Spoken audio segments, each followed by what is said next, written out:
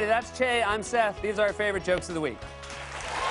During an interview yesterday, Donald Trump told his supporters not to harass Latinos and Muslims. Uh oh, said black people. Today was Spicy Guacamole Day when people across America celebrate guacamole, or as it will be called under the Trump administration, Freedom Dip. Residents of a small town in Missouri this week are complaining about the creation of a bondage club that operates next door to a church. The town filed a restraining order, but that just got them more excited.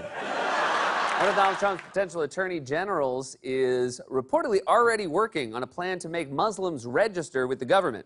Does anyone see a problem with that, or do you not see?